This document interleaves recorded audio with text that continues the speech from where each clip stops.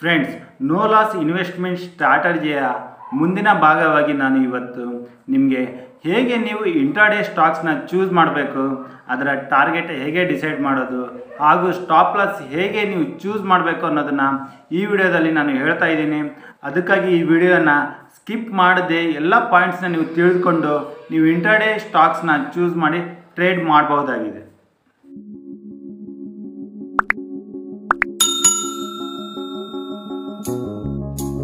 ನಮಸ್ಕಾರ ಫ್ರೆಂಡ್ಸ್ ನಾನು ಶಿವರಾಜ್ ಪಾಟೀಲ್. ನಿಮಗೆಲ್ಲ ನಿಮ್ಮದೇ ಆದ ಚಾನಲ್ ಟುಡೇಸ್ ಇನ್ವೆಸ್ಟ್ಮೆಂಟ್ಗೆ ಸ್ವಾಗತ.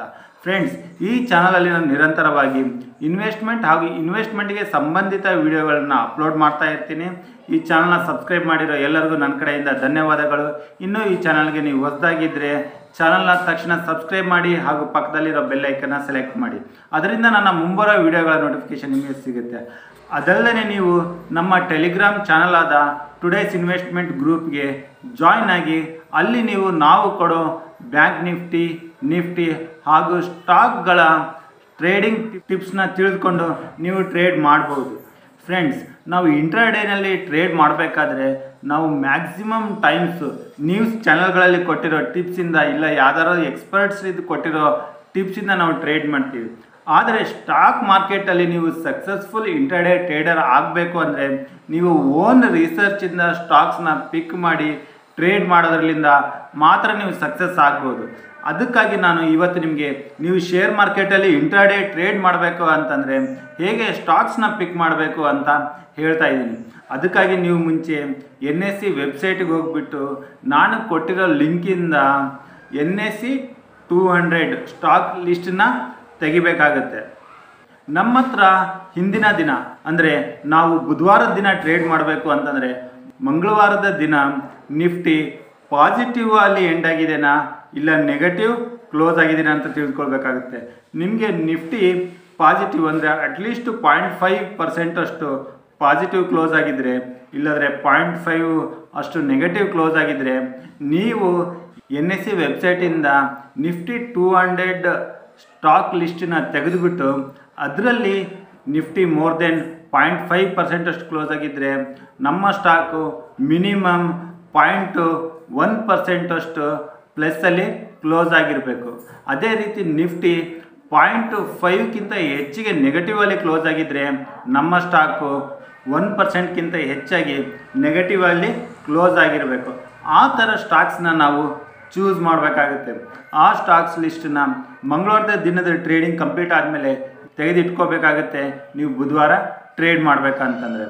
ಬುಧವಾರದ ದಿನ ಮಾರ್ಕೆಟ್ ಓಪನ್ ಆದಮೇಲೆ ನಿಫ್ಟಿ ಪಾಸಿಟಿವಲ್ಲಿ ಮೂವ್ ಆದರೆ ನೀವು ಪಾಸಿಟಿವ್ ಸೆಲೆಕ್ಟ್ ಮಾಡಿರೋ ಸ್ಟಾಕ್ಸು ಪಾಯಿಂಟ್ ಫೈವ್ ಪರ್ಸೆಂಟ್ ಯಾವಾಗ ಕ್ರಾಸ್ ಆಗುತ್ತೆ, ಅಲ್ಲಿಂದ ನೀವು ನಿಮ್ಮ ಸ್ಟಾಕ್ಸ್ನ ಬೈ ಮಾಡ್ಬೋದಾಗತ್ತೆ.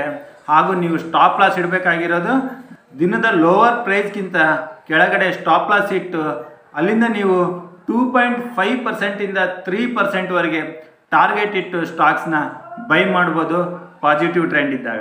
ಅದೇ ರೀತಿ ನಿಫ್ಟಿ ನೆಗೆಟಿವ್ ಟ್ರೆಂಡಲ್ಲಿದ್ದಾಗ ನಮ್ಮ ಸ್ಟಾಕ್ ಝೀರೋ ಪಾಯಿಂಟ್ ಫೈವ್ ಪರ್ಸೆಂಟ್ಗಿಂತ ಹೆಚ್ಚಿಗೆ ನೆಗೆಟಿವಲ್ಲಿ ಮೂವ್ ಆದಾಗ ದಿನದ ಹೈಯರ್ ಪ್ರೈಸಲ್ಲಿ ಸ್ಟಾಪ್ ಲಾಸ್ ಇಟ್ಟು ನಿಮ್ಮ ಸ್ಟಾಕ್ಸ್ನ ಸೆಲ್ ಮಾಡಿ ಅದನ್ನು ಕೆಳಗಡೆ ಟೂ ಪಾಯಿಂಟ್ ಫೈವ್ ಪರ್ಸೆಂಟಿಂದ ತ್ರೀ ಪರ್ಸೆಂಟ್ವರೆಗೆ ಟಾರ್ಗೆಟ್ ಇಟ್ಟು ಟ್ರೇಡ್ ಮಾಡಿ, ಇದರಲ್ಲಿ ನಿಮಗೆ ಸಕ್ಸಸ್ ರೇಷು ಆಲ್ಮೋಸ್ಟ್ ಸೆವೆಂಟಿ ಪರ್ಸೆಂಟಿಂದ ಏಯ್ಟಿ ಪರ್ಸೆಂಟ್ ಬಂದೇ ಬರುತ್ತೆ ಫ್ರೆಂಡ್ಸ್ ಇದನ್ನು ನೀವು ಫಾಲೋ ಮಾಡಿ ಸ್ಟಾಪ್ ಲಾಸು ಟಾರ್ಗೆಟ್ ಇಟ್ಕೊಂಡು ಟ್ರೇಡ್ ಮಾಡಿ, ನೀವು ಸಕ್ಸಸ್ಫುಲ್ ಇಂಟರ್ಡೇ ಟ್ರೇಡರ್ ಆಗ್ಬೋದು.